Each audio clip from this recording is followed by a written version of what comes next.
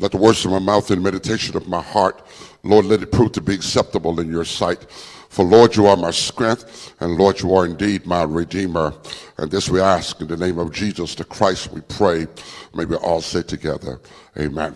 Good afternoon. Good afternoon. Good afternoon. All right, we're kicking off a brand new series. This is July the 1st.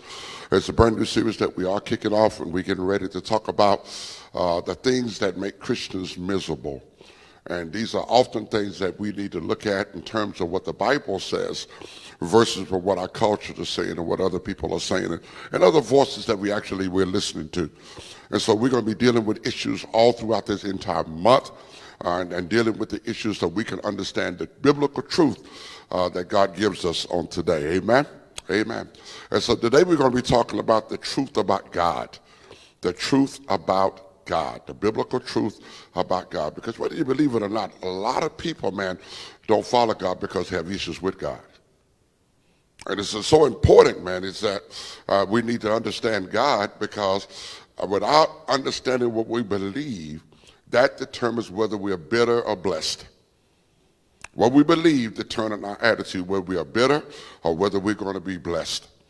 And it's very important that we learn the right things about God because, number one, uh, creative design, we are made in the image of God. So we're made in the image and the likeness of Him. So how we see Him is going to be how we see ourselves. And when people got a distorted view of God, they're going to have a distorted view of themselves because by creation, they were made to, what, to reflect His image and to reflect His likeness. And so these are the issues we have. The most difficult thing about God that makes God so unique, other than any other religion or any other God you come up with, is that God is a God that you cannot explain. We just can't explain him. We can explain him. That's why people make their own gods. They make their own gods so they can understand it. And so the, the, Greeks, what they did, they made their own gods. They had a god for sex, they had a god for this, had a god for that, because to just have one God you know, it would be difficult to explain. Moses had the same issue with God because uh, Egypt, they had over 30,000 gods. They had gods for different things and different things. And you get to Exodus 3, and Moses said, I'm going to Pharaoh, and I'm telling Pharaoh, I'm coming in the name of God, but how do I explain you? How do I explain you? I mean, I mean, how, I mean, who, who do I tell him you are? And then God says, you cannot explain me, but I tell you what, just tell him I am that I am. You know, you, you, you can't explain him. You know, he just can't explain him. And one of the reasons why you can't explain him, because he's infinite and we're finite. we he's unlimited and we're limited. So to try to understand uh, something that's unlimited with a limited mind, your brain will blow up. There's no way in the world you can contain anything about God. And that's why the Bible, God only gave us one book. He gave us one book because, and reason why he gave us one book, because we could not take them more than that. And so what we have, most of us in here, we learn about God based on what he reveals about himself. So it's really called, it's called progressive revelation. And that's why the Bible doesn't need but one book. Why? Because it'll take the rest of my life to try to understand what a limited mind what an unlimited mind wrote and could fully and be able to fully understand it. You can't do it. You can't do it. So I could preach the same text for the next 50 years and preach it differently. As I get more revelation, then I could be able to teach more. So that's the, just the way, way, way, way God works. And so we got a God that we cannot explain. We got a God that we got to depend on him to reveal to us the things he wants us to know about him. And that's why he wrote a book. He wrote a book because, hey, my ways are not your ways, my thoughts are not your thoughts. He said, guess what? As high as the heaven is above the earth, that's as high as I am above you, and you're not going to be able to understand everything about me. And so what happened is we got issues with following God because we cannot explain him, and anything that you cannot explain can easily be distorted. So let's go and look at what is happening here. So Satan comes on the scene, and in the beginning of Genesis, what happened is that man needed to know God. Satan steps in and distorts God so that man won't understand God. And, and, and, Jesus talked about that. He told them their religion. He said, man, y'all been listening too much to, to lies. So what are y'all saying about God? It's not really, it's not really true. And, and so here we are. They had a religion set up. And Jesus had to come back and said, you heard it said this, but this is what I say. You heard you've been taught this, but this is what I'm teaching you. Satan has lied to you and given you a distorted view of God.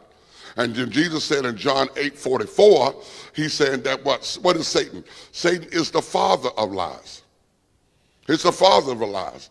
And guess what? And Satan can appeal to yourself that you'll wind up doing what Satan wants you to do. That's what he meant by the lust of your father you will do. So how does Satan present himself to us? He presents himself to us as us. So you know what? Anything that's you do that's not of God, Satan is telling you to do that.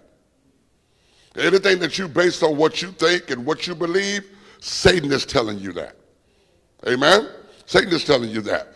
Because God is saying, I left a book and I want you to live by every word that come out of the mouth of God so that you don't have to trust what you feel and you don't have to trust what you believe and you ain't got to trust what you think. So let me give you four lies that Satan has put out about God that's got men confused in our culture today. And why a lot of people don't follow God. Even people who claim they love him don't follow him. Even people who join the church, they don't follow him. They come to church, but they really don't follow him. Because Satan, Satan, Satan has a strategy, and that strategy started in Genesis. Now listen, I want you to go to Genesis 2.17 through 17. Now here it is. Here it is. God put Adam and Eve, the Bible says God planted a garden, put Adam and Eve in the garden. They were actually living in paradise. You know, everything they wanted, everything they needed, God provided that for them. He planted the garden. He put them in, in the Garden of Eden. Now, historians are saying that the garden was so vast and so big, there were probably thousands of trees in the garden. You know, and, and so Satan's argument to them is the argument that he makes to most of us. So I want you to write this first lie he's going to tell. He's going to convince them that God is unreasonable. That God is unreasonable. Okay? And this is how he did it. Now here they are in the Garden They're in the Garden of Eden, Genesis 2.17. You know, they got everything they want, everything that they need. You know, they can just walk around. It's a, whatever. There was unlimited. But in verse 17, God says, now, every tree in the garden you may freely eat. But the tree of the knowledge of good and eat, evil, thou shalt not eat of it. For in the day that thou eatest, therefore thou shalt surely die. So I got thousands of trees in the garden I can eat from. I'm living in paradise. I ain't working nowhere. And all the stuff that God has given to me. And now they and God said, no, one tree that I don't want you to eat from. And that's the tree of the knowledge, what? Of good and evil. For the day you eat it, you're going to what? You're going to die. And what do you mean by die? Death. Death was separation from God. In other words, God says, you know what? You, you, all your security is going to be good as long as I'm with you. But if not, if you ain't going to do right, I'm going to kick you out and you're going to be separated from me. And all the security and everything I gave you, you're going to lose all of that. Now watch it. Go to Genesis 3 and 1.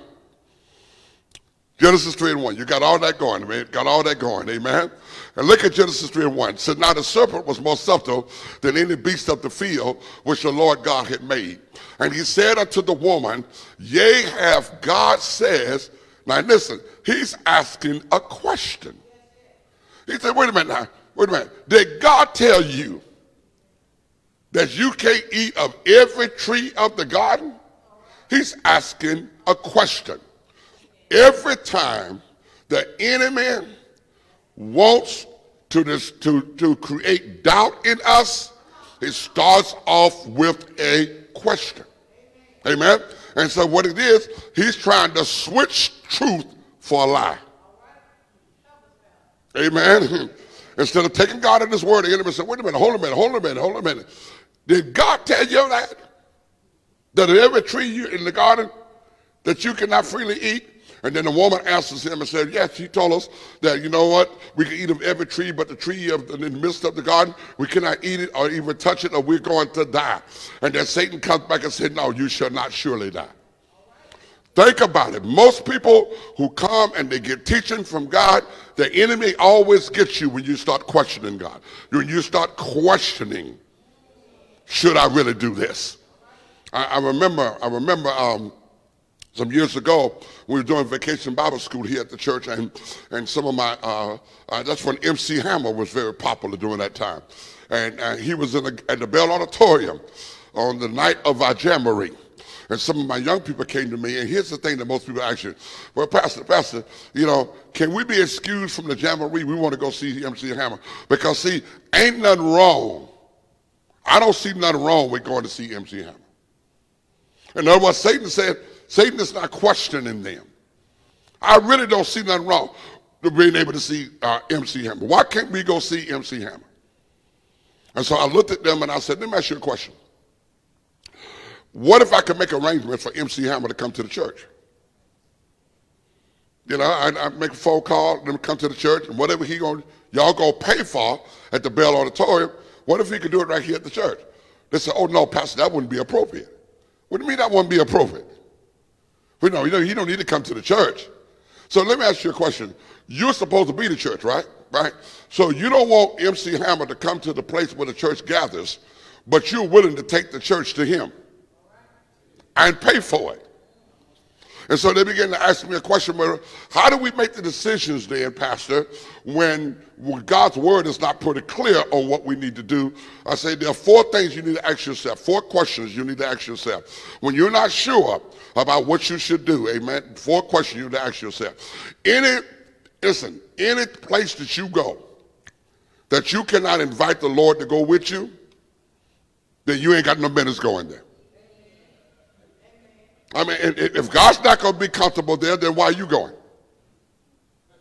Why are you going? Amen? Anything you do that you can't ask the Lord to help me to do this for your glory, then you ain't got no business doing that.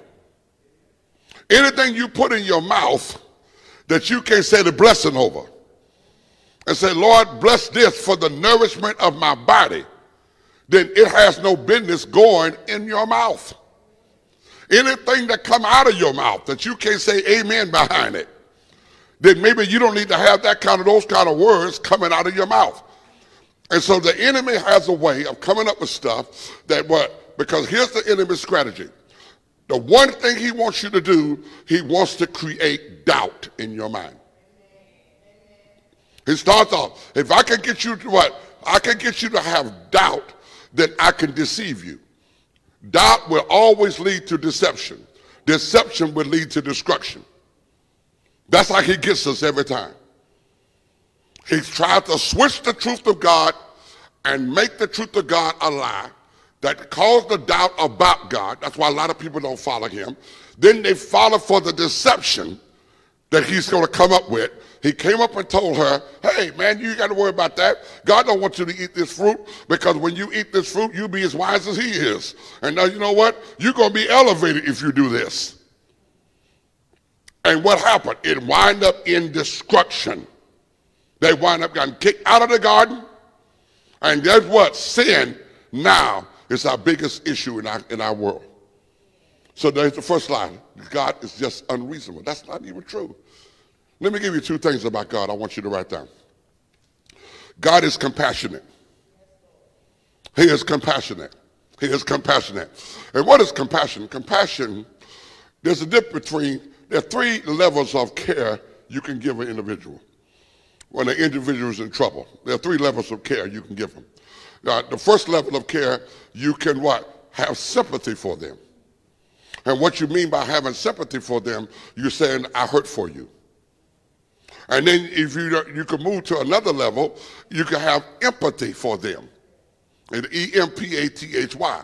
And what happens when I'm empathetic? I'm empathetic when I said, I'm hurt as you hurt. You know, I'm, I'm, I'm hurt as you hurt. So sympathy said, I hurt for you. Empathy said, I'm feeling your pain. I'm hurting because you're hurting. But then the third level is called compassion. Compassion is when you do something to help the person that's hurting.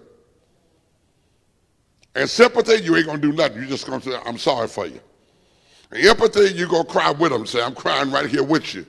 But compassion is the highest expression of love that moves you to want to do something for them. And that's what God is. God is compassionate toward us. He's compassionate toward us. You think about it. Anything that we got, everything we got is because of God. It's because of God. Amen. We don't deserve anything. We haven't earned anything. But God was moved, moved by his love for us. And that's why you're alive this morning. That's why you're moving. That's why you have your being. Somebody ought to say, thank God for his compassion. Amen. Go to Psalm 145. Go to Psalm 145. He said, The Lord is gracious. In verse number 8, it said, The Lord is gracious and the Lord is full of compassion. Full of what is grace? Grace is giving you what you don't deserve. Because that's what love does. Love don't ever give people what they deserve. Love gives people what they need. Love always extends grace. And some people say, hey, man, you deserve to be cussed out, but that ain't what you need. so I'm going to extend you some grace. Anybody know what I'm talking about? Amen? And that's what, that's what love does. Love always extends grace. Love is full of compassion. Love wants to do something. When you see somebody hurting, their hurt is not an obligation for you, it's an opportunity to demonstrate your love. That's compassion. God is that way. He's slow to anger. Oh my God. And the reason why God is slow to anger because he keeps forgiving you over and over again. People who are really angry have unresolved issues in their heart toward another individual. But if you forgive folk, then anger has nothing to be pulled from. Anger is not a primary emotion, it's a secondary one. And so what happened is people open up the anger that's already in us. But when you forgive folk, then there's nothing for anger to pull from. And so God is slow to anger. God is a great mercy. Oh my God, amen. What a scripture. Verse 9. Verse 9. Verse 9, amen. He said, The Lord is good to us all, and his tender mercies are over all his works. God is a compassionate God. He's a compassionate God. Lamentations 3.22. Lamentations 3.22. Okay? It is of the Lord's mercies that we are not consumed. Why? Because his compassions, what? Fail not. Amen. God keeps looking out for me. God keeps pulling me out of messes. God keep helping me when I can't help myself. God, his compassions never fail. So the enemy has told another lie when he said God is unreasonable. He's told a lie. Let me ask you a question. Let me ask you a question. Even the essence of what the enemy said doesn't make any sense. How can God be unreasonable if he gave you thousands of trees that you could eat from and only tell you you can eat from but one? Oh, that's pretty unreasonable, ain't it? How can God be unreasonable, AJ, when he gives you his money? He said, the silver is mine, the gold is mine, and lets you keep 90% and say, just give me 10. I mean, how's that unreasonable? And when men could not even what didn't know how to serve God because the Jews, man, had it so awful that people didn't know how to, people couldn't, they couldn't, they, they, they couldn't serve him because they had over 600 and some laws that everybody had to pass. You know, there were 365 laws that you could do that were positive. That's for one law for every bone in your body. And then they had a what? Um, I mean, 365 uh, negative things that for one bone for every uh, day of the year. There were 365 negative things that you could not do. And then there are 240 positive things that you could do. That's for one law for every bone that was in your body. And so that was 600 and some laws that they, people had to keep up with.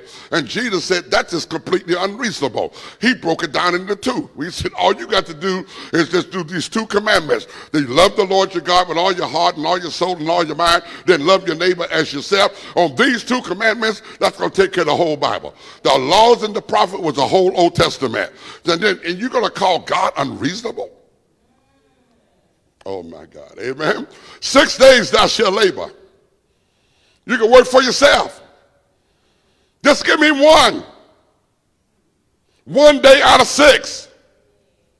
And you're going to listen to the devil's lie that God is unreasonable. Doesn't make any sense. He's unreasonable, number one, because he's compassionate. He's reasonable. He's compassionate.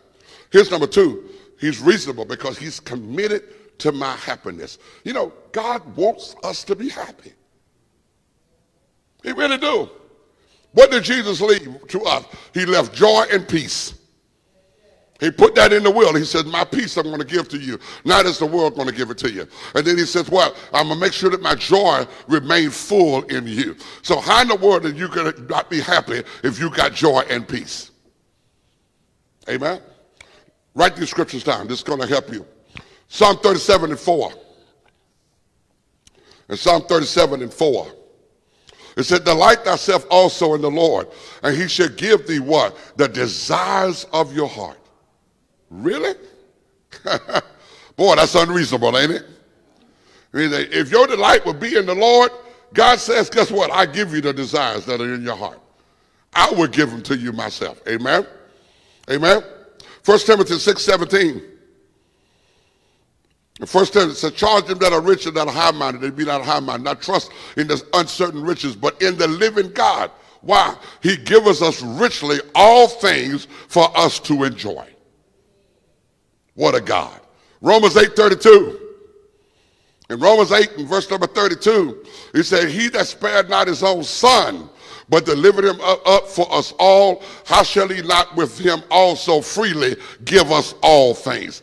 But the greatest need that you and I needed was a Savior, and God was willing to give up his own son to make sure you and I could be saved. So if he was willing to give up his son, what else can you think of that God wouldn't give up for you? Amen. And Psalm 84 and verse number 11. For the Lord God is a sun and a shield, and the Lord will give grace and glory. Listen, no good thing will he withhold from them that walk uprightly. So God is committed to our happiness. So the first lie of the devil that's not true. Call him a liar. It's just not true. He says that God is unreasonable. Here's the second lie of the devil. The second lie of the devil. He said not only God is unreasonable, he said God is unreliable. Hmm. Go to Genesis 3 again. Go to 3 through 5. Here's something to tell Eve. But the fruit of the tree which is in the midst of the garden, God has said you shall not eat it, neither shall you touch it, lest you die. She answers the question. Listen what the serpent says. you can't rely on that. God done lied to you. You shall not surely die. And here's the thing about many of us, man. We believe the devil's lie. God says, if you eat this, you're going to die. Satan said, go ahead and eat it. You ain't going to die. God said, if you do this, this is going to hurt you. Satan said, no, you can go ahead and do it. It ain't going to hurt you. I've learned this the hard way.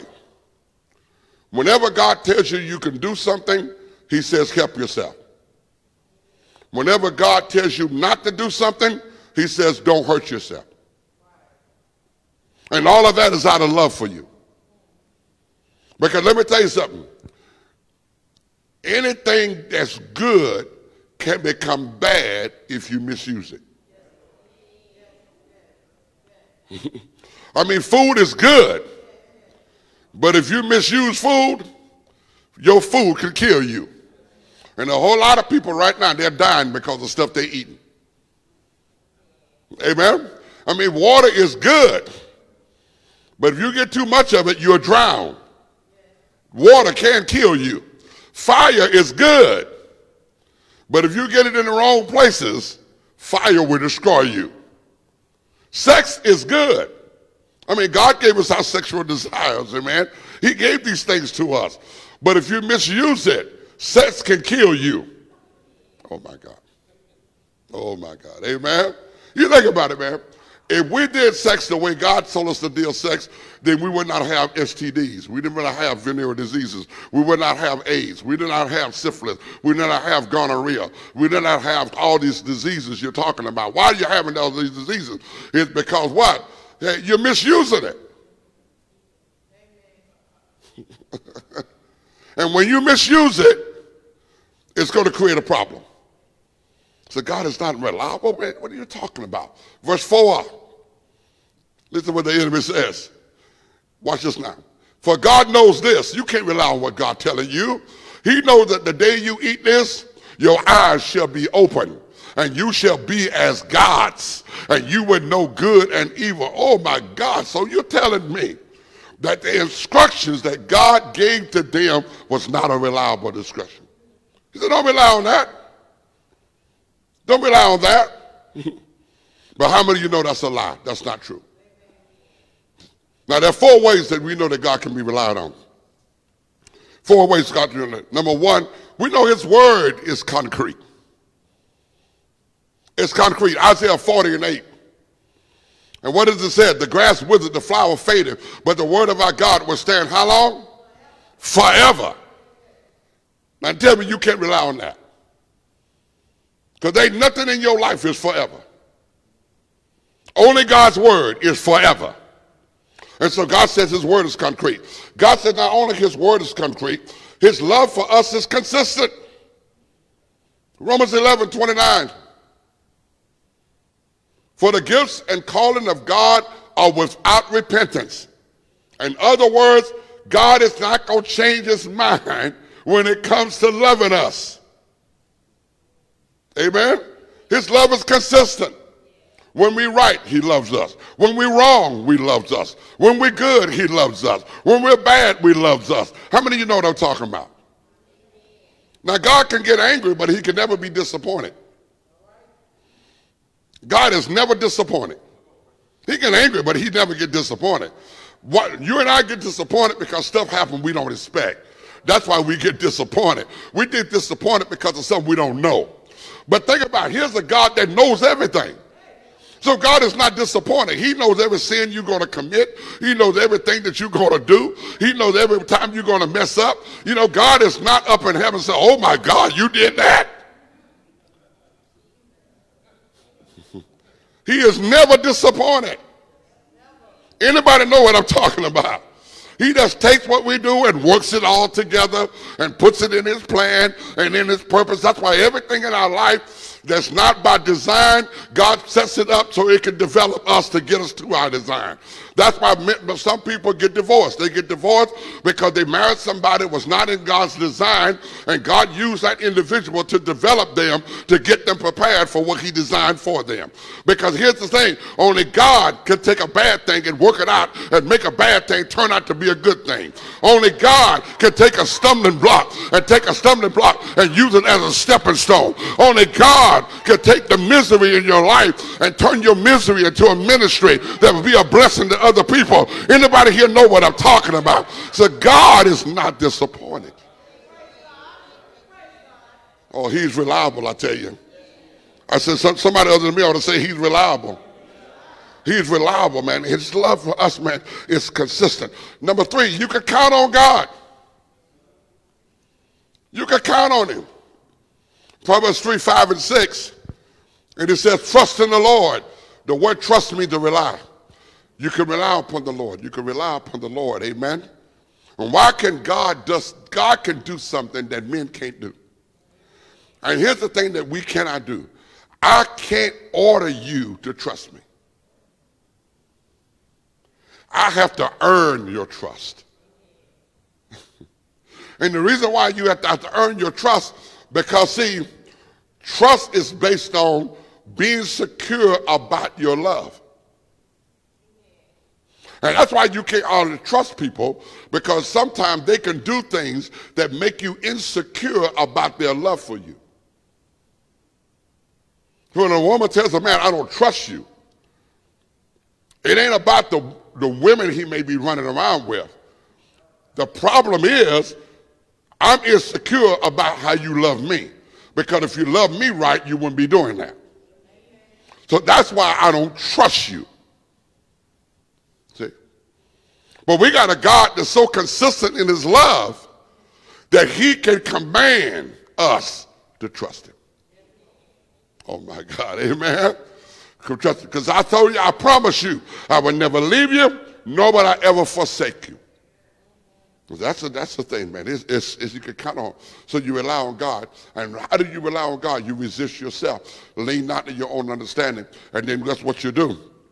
If you rely on God and you can resist yourself, then guess what you can do? You can receive what God has for you. And that is, he will direct your path. And what do I mean by directing your path? It means he will cut a path.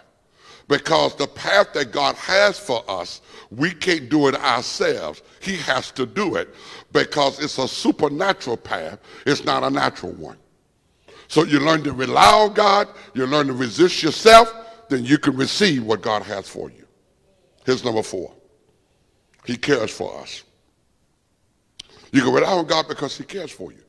1 Peter 5, 7, it said to cast all of your care upon him for what he care for you. And the word care in the Bible means to pay attention to. So God is saying, you don't have to give attention to things in your life that you can't handle. Give those things to me and I will give it my attention. That's the antidote for worry. When something's going wrong in my life, God said, why do you continue to give attention to stuff that you cannot handle? Why don't you just give that to me and let me, get, let me put my attention to it? Because there's some things in your life you ain't going to be able to do. It's some things in your life you need to watch me do. And so therefore, when you get to the red seas of your life, don't be trying to figure out how you're going to drink all that water because you ain't going to be able to do all that. All you got to do is stand still and see the salvation of the Lord. So I've learned not to worry about anything. I learned what I can do and the things I cannot do. I learned to give it to God because he would put his attention to it. And that's what God is telling us to do. The second lie of the devil is that he says that God is unreliable. Okay? What is the truth?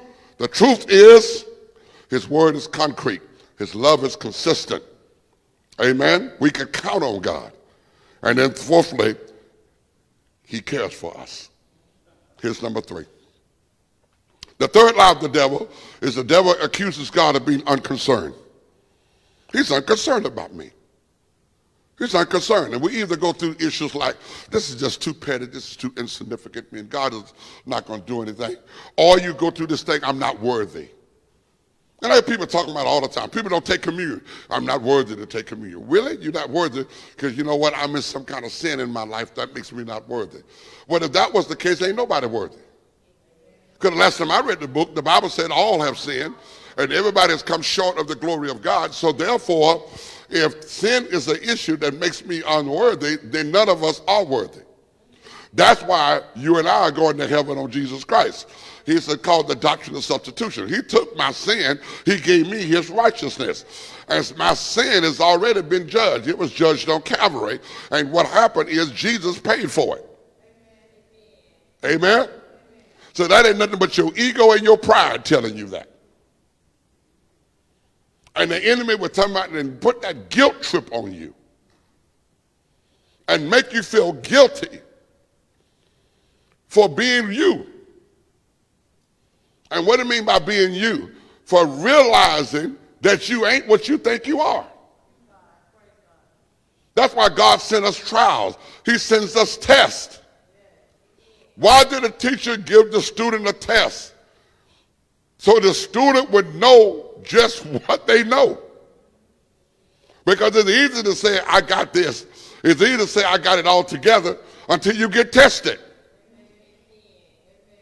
So to say that God is unconcerned about me. Go to Matthew 10. Let's, let's go ahead and let's go ahead and get rid of this lie.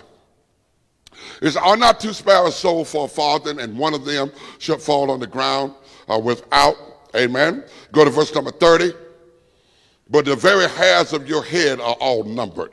Verse number 31. Verse number 31. Fear ye not, therefore. Aren't you more valuable than many sparrows? You mean to tell me that God is saying that if I care this much for birds, you mean to tell me I won't care for you? If everything is so important to me that the very hairs on your head are numbered. Amen. That's how detailed I am. And you're going to say, I don't care for you? Wow. That devil is nothing but a liar. Look what Jesus said in John 14, 23. And Jesus answered and said unto him, If a man love me, he will keep my words, and my Father will love him. And we will come unto him and make our abode with him. In other words, we'll stay with him. We'll stay with him. The devil's a liar. Matthew 6:33. What does he say? Seek first the kingdom of heaven and all of its righteousness. And guess what I do? I add everything you need unto you. That's what God will do. Amen? So what's the lie of the devil? As I get ready to close this thing, man. Because the lie of the devil, he will use doubt, and doubt would lead you to deception, and deception would always lead you to destruction. And that's why most people don't follow God because they'd rather believe the devil's lies than to read the Bible and live by God's truth. The enemy will accuse God of being unreasonable. We don't find out today that that's a lie. The enemy accused God of being unreliable. We don't find out today that that's a lie. The enemy accuses God of being unconcerned. And we don't find out today that that's a lie. Let me look at the fourth line, and I close on today. It says God is unpleasable. You can't please him.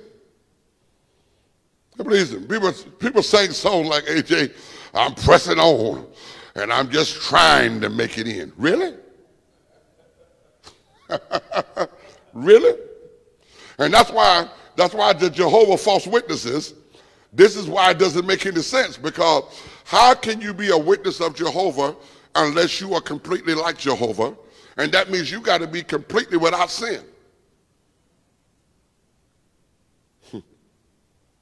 and you know, and listen, Ephesians 1 4.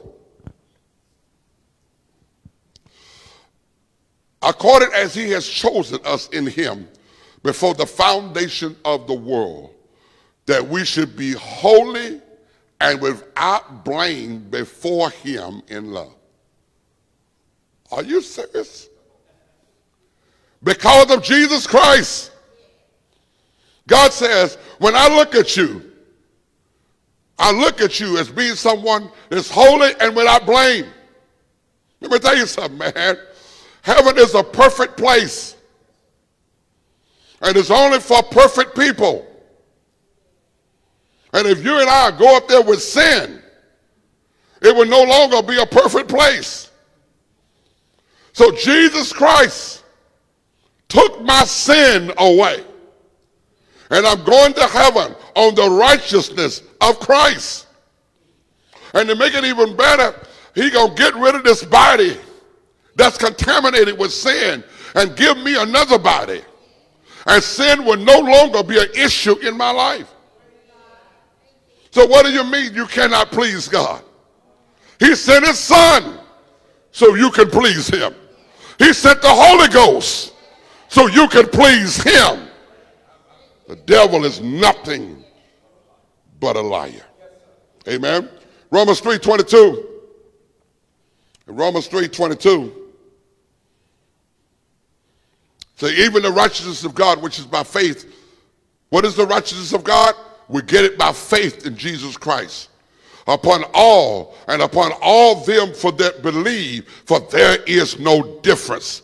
Why do we need Jesus? Because all have sinned and come short of the glory of God.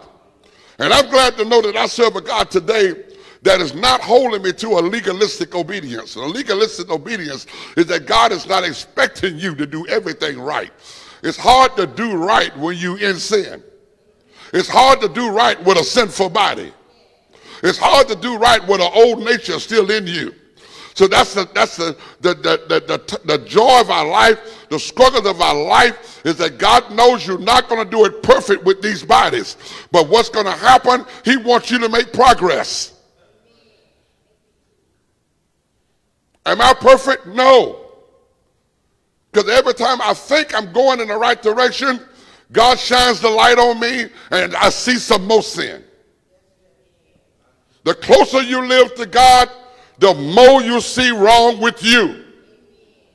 And the only people who walk around acting so self-righteous and acting like they're more holier than thou is because they're not living in the light. And so in the dark, they don't see nothing else. But thank God, when you walk in the light, God will expose things that you cannot see in the dark. How many times, man, you ever thought you had on blue socks?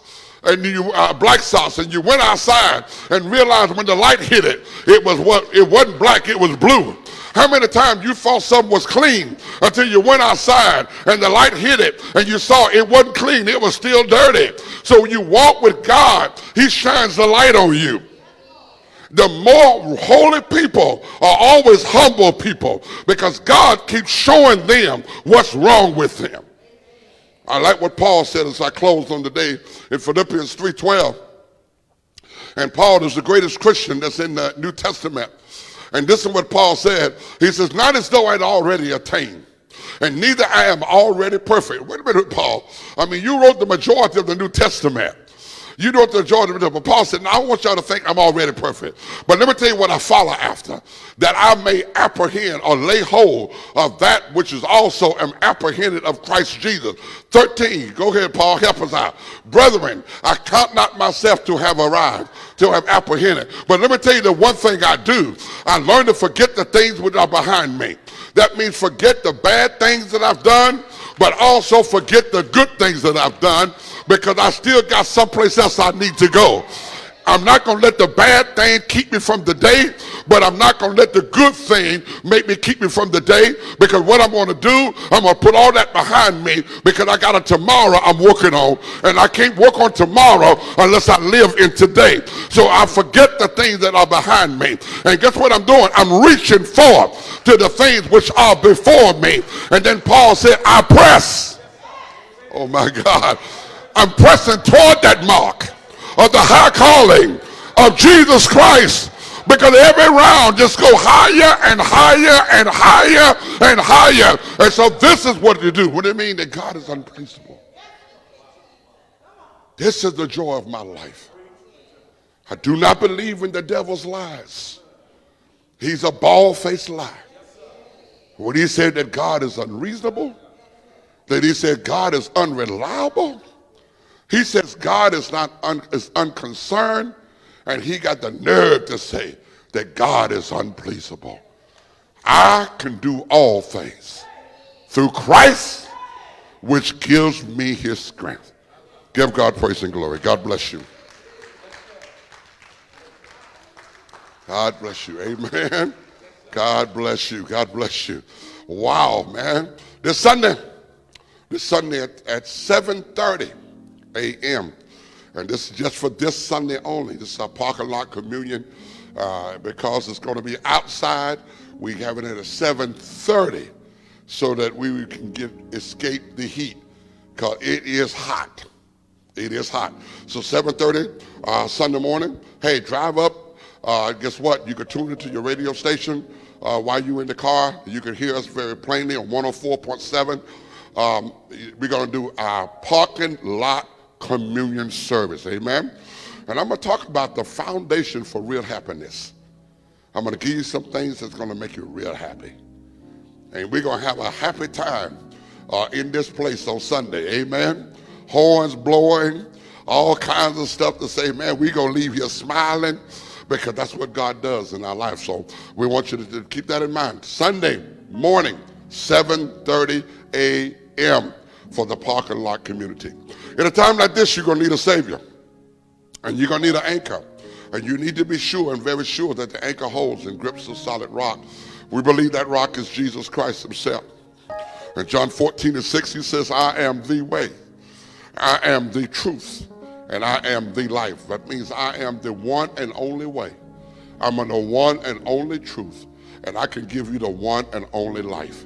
And for whatever reason, when you're the sound of my voice, that you're not sure about your relationship with Jesus Christ, or if you die at this moment, you're not sure you're going to spend eternity in heaven, we don't want you to go to go that way. Uh, 706 724 1720. Give us a call. And I tell you what, we'll have someone call you and counsel you and minister to you. If you got a prayer need in your life, uh, just called the number and said, hey, will you call us, have somebody call me and pray for me? Somebody would make sure we have somebody call you and do that as well. If you don't have a church home, you still can connect to Greater Young Zion. Just call 706 724 1720. Leave a message, and our staff will get back with you and show you how that is done as well. I want you to keep this in mind also uh, that that you can support this ministry, and this is important in the critical times that even though we're out of fellowship, uh, as we want to be, we're still the church. And so we still depend on your offerings and your financial support to continue to support this ministry and move it forward. Uh, so we ask you if you are um, a disciple of Greater Young Zion, we expect you to give. If you're not a disciple, we welcome your giving uh, as well. And there's six ways you can give at GYZ. You can give at GYZ uh, by, by uh, simply mailing your offering in and uh, you can just put GYZ, uh, P.O. Box 1864, Augusta, Georgia. That's a way of doing it. Or if you don't, if you can also go to your bank and put us on your bill pay and then have them send the gift to GYZ. Or you can just come by the church, go to the drive through with the mailbox, and uh, we have offertory envelopes on the door if you want to use those. And then you can just drop it in the office drop box, and we do appreciate your giving uh, uh, in, that, in that way as well. You can go to our app, it's called Give Plus. We have a Give Plus app. Uh, if you're not familiar with, you call the number 706-724-1720, and you can, you what? You can give that way. You can go to our website. Website is greateryoungzion.org. Hit donations and give your donations that way. Or if you got Cash App, you can use our Cash App uh, uh, uh contact, and that is dollar sign capital G Y Z A U G you can do that as well. And we'd be more than happy uh, to receive your gift. And thank you so very much for what you do. In the critical times we're living in, we're still counting on prayer, asking you to continue to pray. Uh, for this pandemic that we're in. We pray for those who are struggling in this pandemic. We pray for those who uh, are suffering bereavement uh, because of this pandemic, hospitalized, those who tested positive, whatever the situation may be, we lift you up in prayer. Also, pray for our leaders, both national, state, and local. Also, we're going to ask that you pray for our medical personnel, our doctors, nurses, medicine, all those things they're doing uh, to risk their lives in order to save our lives. We believe that God is the ultimate healer, and He's in control, and we, we can trust on that as well. Let's lift up the heaven and let's be as we get ready to pray and uh, ask God to just do all of these things that we've asked. We ask that you would continue to bless you, bless the word, let your word go forth. In the book of Thessalonians, you said, Lord, we need to pray that your word will have free course. We are praying for that on today that it will touch as many lives as it possibly can be touched.